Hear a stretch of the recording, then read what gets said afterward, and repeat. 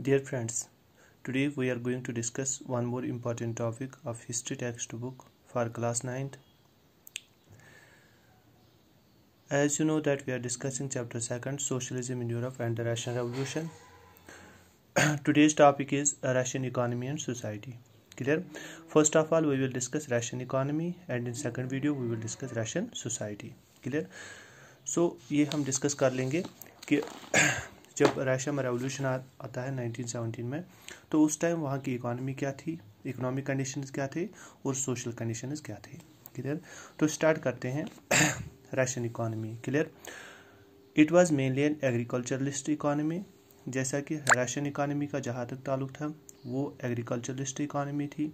Agriculturalist economy का मतलब है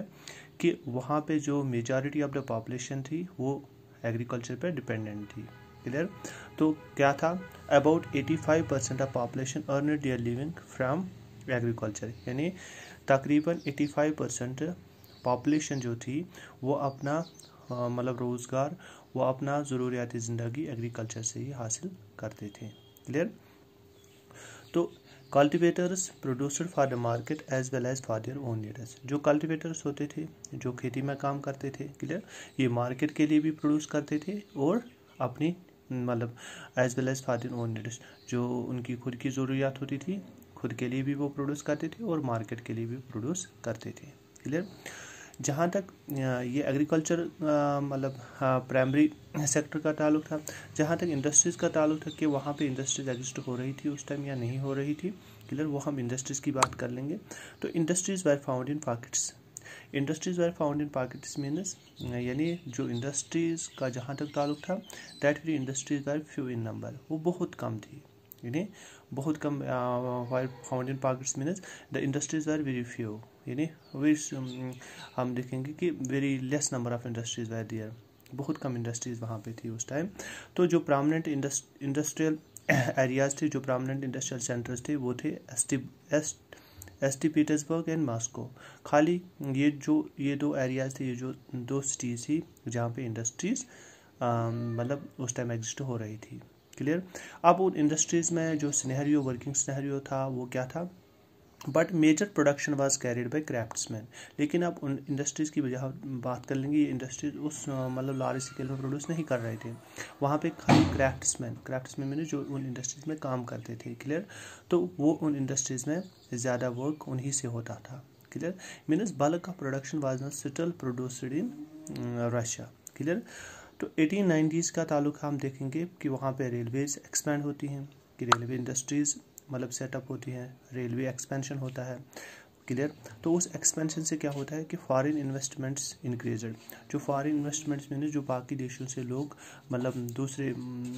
दूसरे और देशों में इन्वेस्ट करने के लिए आएँगे क्लियर तो foreign investments increased with the expansion of railways कि बहुत सारे लोगों ने अब रशिया में इन्वेस्ट करना स्टार्ट किया एटीन नाइन्टीज़ ऑनवर्ड्स के बाद क्लियर तो हम देखेंगे कि जब रेलवे एक्सपेंशन होता होता है, वहाँ पे जो फॉरेन इन्वेस्टमेंट होता है, वहाँ पे रशिया में तो उसका इम्पैक्ट क्या हो रहता है मतलब रशिया, रशियन की इकोनॉमी पे? तो हम देखेंगे with expansion of railways and with मतलब इंक्रीज फॉरेन इन्वेस्टमेंट्स हम देखेंगे कि जो कोल प्रोडक्शन थी कोल प्रोडक्शन गाट डबल्ड जितना उससे पहले मतलब कोल प्रोडक्शन वहाँ पे होती थी, अब उससे दुगना वहाँ पे होने लगा क्लियर और जो आयरन एंड स्टील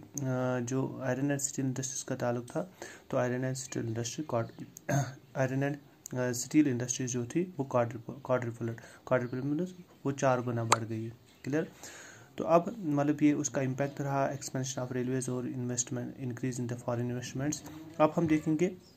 कि मोस्ट इंडस्ट्रीज़ व private property of the industrialist लेकिन अभी तक वहाँ पे नेशनलाइजेशन नहीं है। क्लियर अभी तक वहाँ पे हम देखेंगे जो इंडस्ट्रीज़ मतलब वहाँ पे सेटअप की गई, जो इंडस्ट्रीज़ इंडस्ट्रियलिस्ट सेटअप की। क्लियर तो उन इंडस्ट्रियलिस्ट का क्या मतलब मेन मोटिव रहता था? प्रॉफिट मैक्सिमाइजेशन क्लियर कि ज़्यादा से ज़्यादा profit they don't care for the welfare of the people they don't care for the welfare of the workers clear तो अब जो इंडस्ट्रीज़ वहाँ पर सेटअप हुई तो वो इंडस्ट्रीज़ प्राइवेटली ओनर्ड थी। प्राइवेटली ओनर्ड मीन कि कुछ सिलेक्टेड पर्सन ने वो इंडस्ट्रीज़ सेटअप की, अब उनका मेन मोटिव रहा प्रॉफिट मैक्सिमाइजेशन की, ज़्यादा से ज़्यादा प्रॉफिट को कमाना, ज़्यादा से ज़्यादा प्रॉफिट जनरेट करना। क्लियर तो they don't think for the welfare of the people clear हम देखेंगे कि अब हाँ क्योंकि जो इंडस्ट्रीज़ थी वो प्राइवेटली ओनड थी, हम देखेंगे कि उसका इम्पैक्ट क्या रहता है लोगों पे, कि लॉन्ग वर्किंग आवर्स मतलब जो वर्कर्स होते थे, अब इंडस्ट्री में काम कर रहे थे। क्लियर तो उनसे वो मतलब लंबे आवर्स तक काम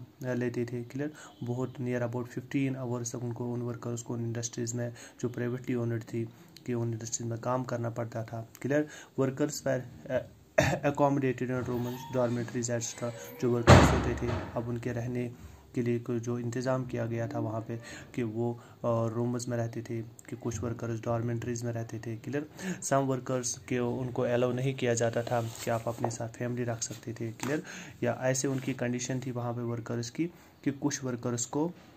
मतलब शिफ्ट्स में आ, सोना पड़ता था वहाँ पे क्लियर और उनको अलाउ नहीं किया किया जाता था कि to keep their families with them clear वो अपने साथ वो फैमिलीज़ रख सकते थे क्लियर तो अगर हम उन वर्कर्स की या पेजेंट्स की बात कर लेंगे कि जो पेजेंट्स होते थे वो मतलब सर्वाइव करते थे by eating charitable kitchen clear और मतलब चैरिटेबल किचन जो होते थे मतलब उन उनमें वो खाना खाते थे क्लियर यानी खाने के लिए उनका, खाने के लिए उन, उनका प्रॉपर इंतज़ाम भी वहाँ पे नहीं था क्लियर और जो मतलब पुअर हाउसेस में वो रहते थे जहाँ पे मतलब सैनिटेशन कंडीशन प्रॉपरली नहीं थी क्लियर तो ये मतलब राशन इकानमी के बारे में हमने ये डिफ़ाइन किया था कि राशन इकानमी का एग्रीकल्चर स्नहरियो भी हमने डिस्कस किया था और प्राइमरी सेक्टर को भी हमने डिस्कस किया था और सेकेंडरी सेक्टर को भी हमने डिस्कस किया था क्लियर और उसका क्या इम्पैक्ट रहता है। रशियन सोसाइटी पे क्लियर रशियन इकॉनमी पे क्लियर तो आई होप कि आपने वीडियो आपने टॉपिक समझा होगा कि if you have any doubt आप वो हम मुझसे पूछ सकते हैं. Clear thank you